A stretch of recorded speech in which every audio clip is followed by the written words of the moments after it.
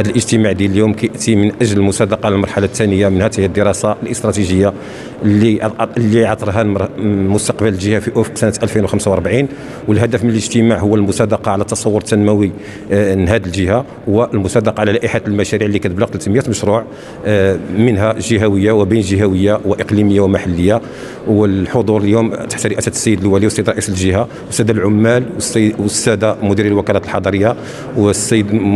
مدير دعم التنميه الترابية ووكاله تنمية الشرق. آه الآن من نكملوا هذه المرحلة اليوم ونصدقوا عليها غننتقلوا إلى المرحلة الثانية لأن هي مرحلة التفاوض ومرحلة التعاقد واللي غيكون فيها الإنهاء ديال آه الدراسة قبل ما تم الولاية الانتخابية لمجلس جهة الشرق. وشكرا.